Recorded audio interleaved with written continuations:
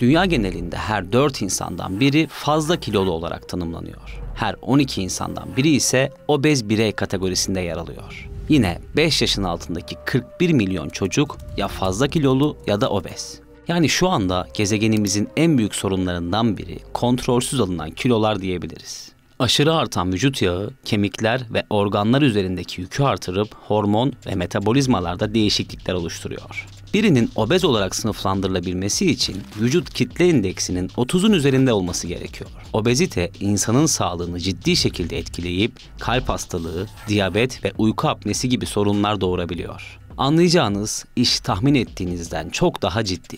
Ancak bu içerik size obezitenin yahut fazla kilonun zararlarını anlatmayacak. Bugün çok daha derin ve garip bir meseleye odaklanacağız. Konuşacağımız konu hakkında onlarca farklı görüş var. Birileri bu yakın tarihin en büyük dolandırıcılığı olacak diyor. Başkaları daha büyük sağlık sorunları doğuracak diyor. Bambaşka birileri ise insanlar ne güzel zayıflıyor işte. Neden kurcalıyorsunuz diyor. Evet, içeriğin editörü olarak gerçekten de bu meseleyi sonuna kadar kurcalayalım istiyorum. Her şeyin en başına gidelim. Danimarkalı bir ilaç firması olan Novo Nordisk, Ozempic isimli bir diyabet ilacı geliştirdi. İlacın birincil vaadi kan şekeri seviyesini ve kalitesini artırmak şeklinde özetleniyor. Teknik detaylara biraz daha yakından bakalım. İlacın diğer adı semaglutid. Tokluk hissi meydana getirerek iştahı düzenleyen bir hormonu direkt olarak tetiklemiş oluyor. Haftalık enjeksiyon yoluyla uygulanıyor, ölçüleri doktor tavsiyesiyle belirlense de reçetesiz olarak da satılabiliyor. Burada bizim bu içeriği oluşturmamıza neden olan asıl mesele ise ilacın bir diyabet ilacından çok daha farklı biçimde konumlandırılıyor olması. Elon Musk'ından ünlü TikToker'lara, milyon takipçili YouTuber'lardan Hollywood yıldızlarına kadar herkes bu ilacın apaçık reklamını yapıyor. Diyorlar ki, biz bu ilacı düzenli biçimde kullanıyoruz ve çokça kilo vermemize yardımcı oluyor. Yanlış duymadınız sağlık gibi belki de en hassas konuda hassaslıktan fazlasıyla uzak bir biçimde resmen reklam yapılıyor. Aslında bu ilaç kilo verdiriyor önermesi çok da yanlış bir ifade değil diyebiliriz. Zira Ozempic'i kullanan her 10 yetişkinden 9'u ortalama %12 civarında bir kilo kaybı yaşadığını söylüyor. Ancak asıl mesele kilo kaybı değil. Sağlıklı ya da sağlıksız kilo kaybının mutlaka ayırt edilmesi zorunluluğu ve içeriği izlemeye devam ettikçe anlayacaksınız ki bu sürecin çok da sağlıklı olduğunu söylemek ne yazık ki çok zor. İlaç ilk etapta Amerika Birleşik Devletleri, Danimarka ve Norveç'te Vegovi markasıyla satılmaya başlandı.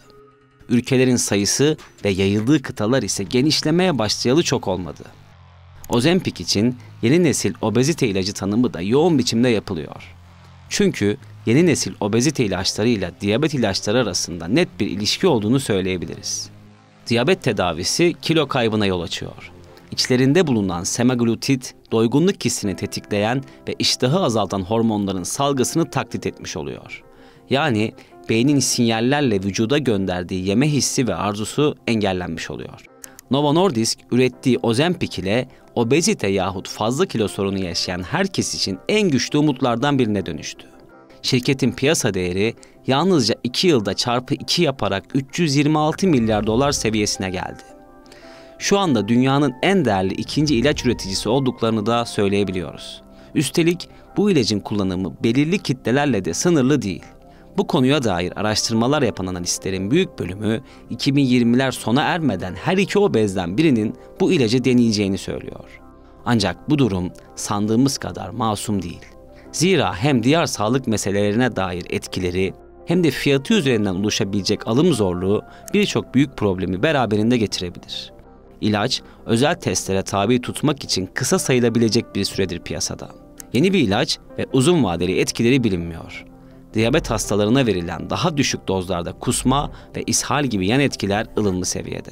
Ancak ilaçlar daha yaygın ve daha yüksek dozda kullanıldıkça yeni yan etkilerin oluşma ihtimali hiç düşük değil. Ayrıca Ozempic için yapılan hayvan testleri de çok iyi şeyler söylemiyor. Tiroid kanseri vakalarının arttığı ve nadir de olsa pankreas iltihabının ortaya çıkardığı resmileşen veriler arasında. Özellikle hamilelik süreçlerinde yahut hemen öncesinde kullanıldığında nasıl sonuçlar doğurduğunu da verileştiren bir kaynak söz konusu değil. Tüm bunların bir netliğe kavuşması ve anlaşılır olması için daha uzun vadeli analizlerin yapılması ve bu analizlerin tarafsız kuruluşlarca en az birkaç kez tekrar edilmesi gerekiyor. Tabi bir de vücudun bu ilaca karşı gösterdiği alışkanlık reaksiyonundan bahsetmeliyiz. Çünkü ilacı bir kez alan birçok hasta ömrünün geri kalanında da kullanmak zorunda kalabilir. Diyeti bırakmaya gelince yüksek dozda semaglutit kullanımını kesmek verilen kilonun büyük kısmının geri alınmasına yol açıyor. Verdiğinden fazlasını hatta verdiğinden çok daha fazlasını alanlar bile mevcut. İşin sağlık güvenliği boyutunu da bu şekilde özetlesek sanırım yeterli olur. Hatta şöyle söyleyeyim. Söz konusu ilacı bu kadar az teste rağmen kullanmak ciddi bir cesaret desek bile abartmış olmayız. Neyse, biz şimdi de maliyet meselesine geçiş yapalım. Amerika Birleşik Devletleri'nde Ozempic'in birim fiyatı 900 dolar civarında. Üstelik bu ödemeyi yapıp ilacı elinize aldığınızda ortalama 2 hafta sonra yeni bir ilaç kutusuna ihtiyaç duyacağınızı da söyleyelim. Yani fiyat açısından da sürdürülebilir bir seçenekle karşı karşıya olmadığımız kesin. Tabii ki ilacın yaygınlığı artarsa, hele ki testler neticelenip büyük zararlara neden olmadığı ortaya çıkarsa, şirketler hükümet ve sağlık kuruluşlarıyla anlaşmalar yaparak bu maliyetleri düşürebilir. Ancak bu haliyle ciddi derecede pahalı bir ilaç olduğunu rahatlıkla ifade edebiliyoruz. The Economist'in ilaç üzerine yaptığı analizlerin içinde bunun tek ilaç olarak kalmayacağı düşüncesine de yay verilmiş. Yani bu denli karlı ve yüksek katılımlı bir ilacın muadillerini üretmek için hem Novo Nordisk hem de Amgen, AstraZeneca ve Pfizer gibi rakipleri çalışmaya başlamış durumda. Şimdi işleri iyiden iyiye karıştıran bir meseleye daha geçiş yapmak istiyorum. New York Times'ın deneyimli sağlık muhabirlerinden Danny Bloom'un haberi oldukça dikkatimi çekti. Makaleye göre Ozempic kullanan hastaların büyük çoğunluğu alkol bağımlılığından uzaklaşıyor. Yani bir takım uzmanlar da zayıflama Ozempik etkisi kadar Ozempik bağımlılık ilişkisinin de geçerli ve dikkate değer olduğunu söylüyor. Bu arada işin bir de obezite isteyenler kısmı var. Evet obezite isteyenler dedim ve bu tabir biraz ağır olabilir ancak şimdi anlayacaksınız. New York Magazine'in kapağına taşıdığı bir konu oldukça ilgi çekici. New York'un yüksek gelirli kesimleri tarafından yoğunlukla ziyaret edilen fast food işletmeleri azalan siparişlerden Ozempic'i sorumlu tutuyor. Şehrin kalburüstü restoranları son aylarda müşterilerinin neden bu kadar az yemek siparişi verdiğini anlamakta güçlük çektiklerini, salata siparişlerinin de bu kadar artmasının bir sebebi olması gerektiğini belirttikten sonra durumun Ozempic ile olan ilişkisinin en gerçekçi neden olduğu sonucuna varmış durumda. Yani bu diyabet ilacı tahmin ettiğinizden çok daha fazla sayıda parametreyi insan ve kurumu da etkilemiş oldu. Bu arada TikTok etkisine ayrı bir parantez açmak istiyorum. Söz konusu platform son dönemlerin kısa süreli ve dinamik reklam alanına dönüştü. İnsanlar TikTok üzerinden karşılaştığı birçok ürünü deneme, birçok restoran yahut mağazaya şans verme yoluna gidiyor. Yani TikTok'ta viral olan bir ürünün geniş kitlelerce satın alınmama ihtimali neredeyse yok. Ozempic de TikTok'ta yaklaşık 350 milyon kez etiketlenmiş durumda. Yani TikTok'un ilacın satışlarına nasıl etki ettiğini tartışmaya dahi gerek yok. Bu arada TikTok'u yoğun biçimde kullanan ve özellikle GZT'nin TikTok hesabına mutlaka göz atmanız gerektiğini düşünen bir editör olarak TikTok'un sağlık konusunda sorunlu noktalara evrilebildiğini de eklemeliyim.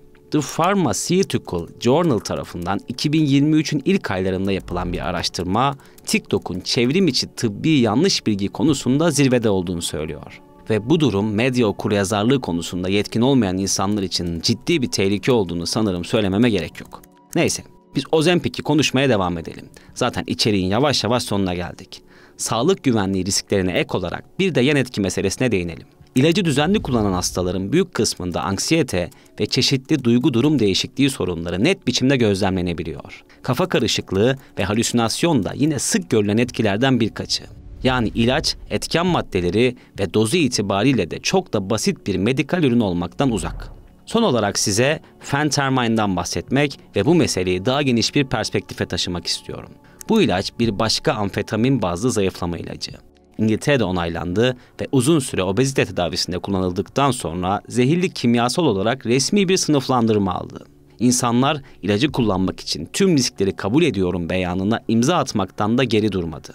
Yani ifade edilen çok sayıda ölümcül riske rağmen ilacın kullanım istatistiklerine bir düşüş değil, aksine yükseliş meydana geldi. Yani bazı insanlar için kilo vermek yaşamsal faaliyetlerden bile daha önemli olabiliyor. Bu da sağlıkla alakalı en büyük tehlikelerden biri olarak apaçık biçimde karşımızda. İçeriği birçok farklı analiz ve resmi kaynaklı verilerle inşa etmeye çalıştım ancak bireysel bir editör notuyla bitirelim istiyorum. Çok hızlı biçimde ve büyük bir etki alanıyla büyüyen ilgilerin herhangi bir ürünü satın almak için 4 hatta 5 kez daha düşünmeyi zorunlu kıldığına inanıyorum. Hele ki konu can sağlığı gibi oldukça hassas bir noktadayken. Obezite büyük bir tehlike evet. Ancak onunla mücadele ederken de başka tehlikelerle karşılaşmamak için çaba göstermek şart.